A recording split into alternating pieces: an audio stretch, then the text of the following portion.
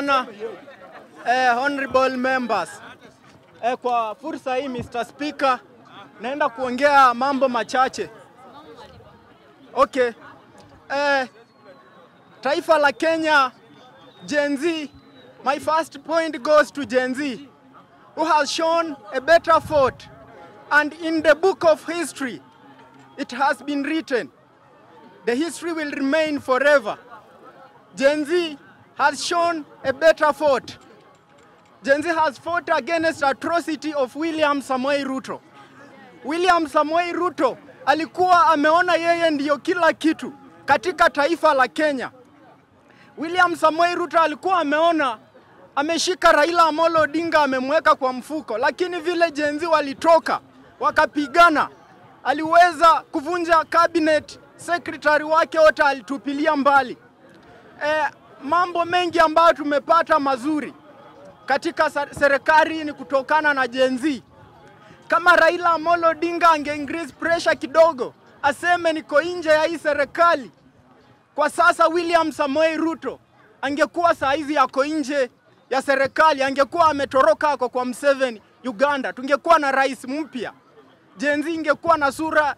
Saa hizi tunalia tu Raila Amolo Odinga kidogo, yeye ndiye ametuletea hii shida, na bure saa hizi William Samoei Ruto angekuwa ako nyumbani, lakini kwa sababu Raila Amolo Odinga amekuwa akifanya patanisho na serikali zote kutokea eh, serikali ya, ya Kenyatta huko nyuma hadi sasa tunasema ni sawa, lakini sisi kama Gen Z tunasimama tunasema kwamba William Samoei Ruto, hizi matua zako zenye unaendelea saa hii, juzi umekuwa Mombasa, saa hizi umeenda Kisii, juzi sijui unaenda wapi, mara umekimbia Rwanda kuapisha rais. Hizi ni pesa zetu bado unatumia na bado unazidi kutupatia hasira, na hasira yetu inavyopanda sasa, vile tuko tunajipanga raundi 2 saa hizi tumetulia tu, tunakuangalia sisi kama Gen Z.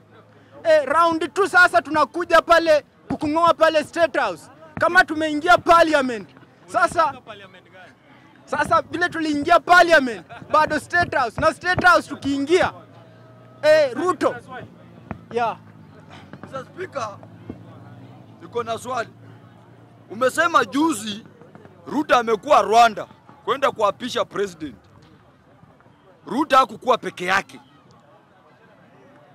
Mbona hujaongea kuhusu baba? Pia walienda wote. Okay. Yeah. Eh, my, my fellow friend Nuru Okanga. Eh, hii Raila Amolo Odinga saizi hizi ni serikali. Anapumua hewa ya serikali. Anatembea na viatu za serikali. Saa hizi Raila Amolo Odinga ako kwa serikali. Sasa saa hizi Raila Amolo Odinga ni kama na Ruto ni kitu kimoja. Saa hizi Rigathi Gachagua ndiye amekuwa mpinzani. I think nimekujibu vizuri. Eh, Raila Amolo Odinga vile aliingia kwa hii serikali, saa hizi watu wenye ni wapinzani ni wenye walikuwa kwa serikali.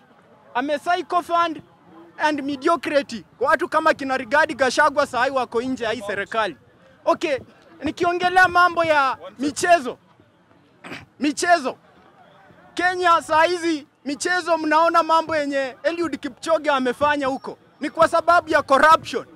Mtu amekimbia amechoka, umri imepita, lakini kwa sababu ya ongo, ako na pesa, anatoa ongo, anapeana, wanasema wewe enda kimbia. Eliud Kipchoge aleta aibu kubwa sana katika taifa la Kenya ambayo haijai onekana.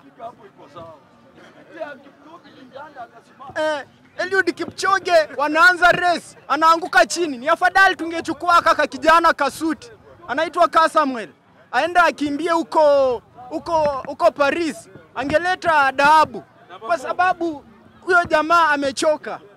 Asanteni sana. Asante mbunge mwenzangu.